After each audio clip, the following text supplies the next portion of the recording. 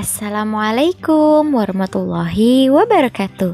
Selamat pagi siswa-siswi MIT Nurul Iman 2 Bagaimana kabarnya hari ini? Alhamdulillah luar biasa. Allahu Akbar. Nah Saleh dan Soleha sudah siap untuk belajar? Masya Allah hebat. Kalau sudah siap mari kita mulai dengan membaca doa sebelum belajar.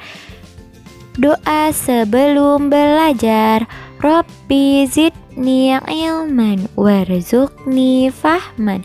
Ya Allah tambahkanlah ilmuku dan berikanlah aku pemahaman yang baik.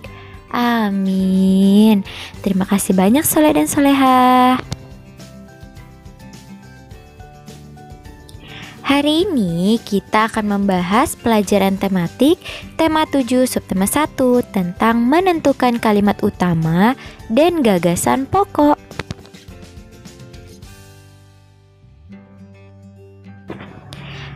Anak-anak hebat, Soli dan Solehah kelas 3 Al-Quds Apakah kalian tahu apa itu paragraf?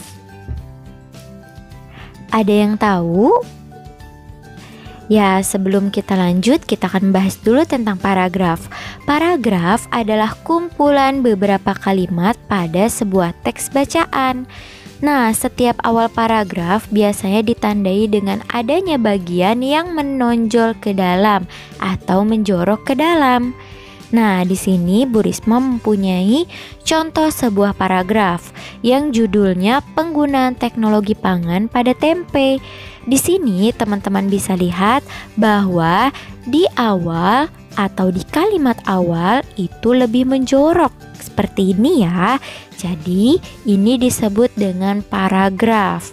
Paragrafnya berisi dari tempe merupakan makanan khas Indonesia. Itu adalah kalimat pertama. Selanjutnya, tempe disenangi oleh banyak kalangan dari segala usia. Ini adalah kalimat kedua. Setiap paragraf memiliki gagasan pokok dan gagasan pendukung.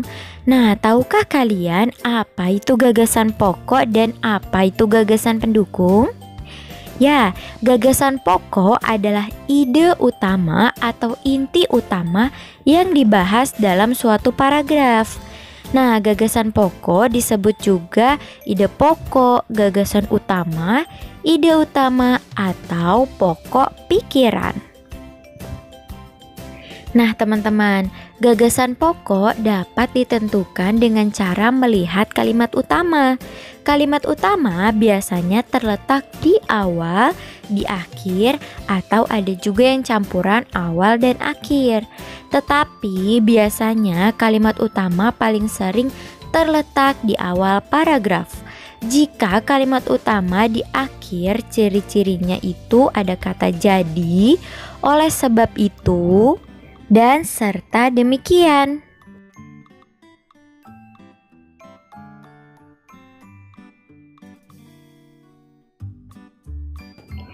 Nah, Soleh dan Soleha, anak-anak hebat kelas 3 Alquds, di sini Bu Risma mempunyai sebuah paragraf yang Bu Risma ambil dari buku Bupena halaman 5 yang judulnya penggunaan teknologi pangan pada tempe.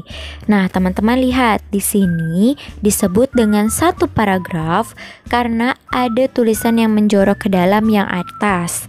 Nah, tempe merupakan makanan khas Indonesia. Ini merupakan kalimat pertama karena ini adalah kalimat yang pertama kali ada di dalam paragraf ini. Kita lanjut kalimat kedua.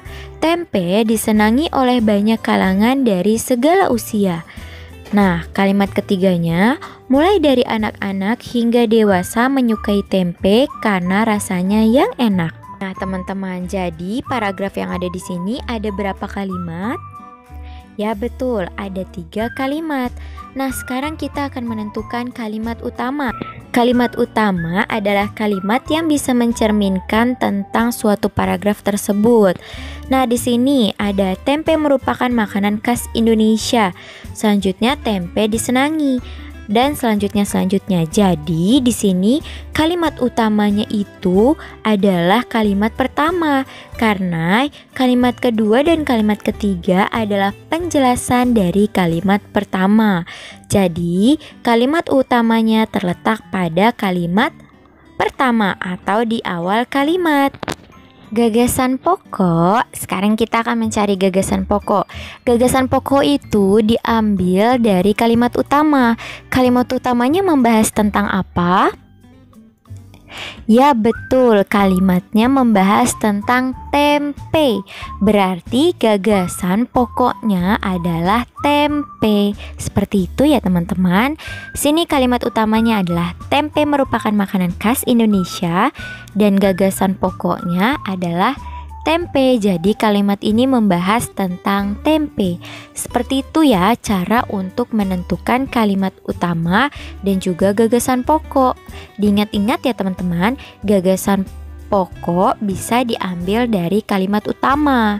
Nah, kalimat utama itu bisa kalian lihat di awal, di akhir, atau bisa juga di awal dan juga di akhir. Tapi biasanya adanya di, ya betul, di awal kalimat.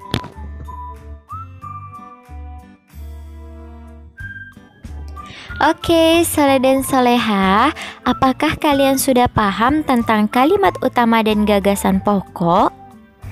Oke, jika sudah paham, mari kita latihan menentukan kalimat utama dan gagasan pokok pada teks yang berjudul Teknologi Pengawetan Ikan Asin yang ada di buku Bupena halaman 11. Nah, teman-teman kerjakan ya. Di sana kan ada judulnya Teknologi Pengawetan Ikan Asin. Kalian baca dulu. Kemudian kalian tentukan paragraf pertama, kalimat utamanya apa, kemudian gagasan pokoknya apa. Nah, selanjutnya di paragraf kedua juga sama dan di paragraf ketiga juga sama. Jadi, tentukan kalimat utama dan juga gagasan pokok. Yang terpenting adalah baca dulu teksnya. Betul sekali.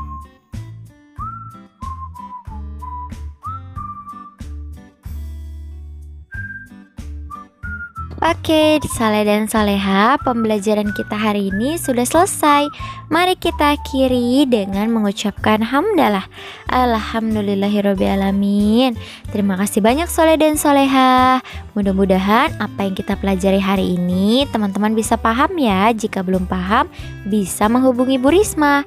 Kalau gitu, Bu Risma pamit ya. Assalamualaikum warahmatullahi wabarakatuh.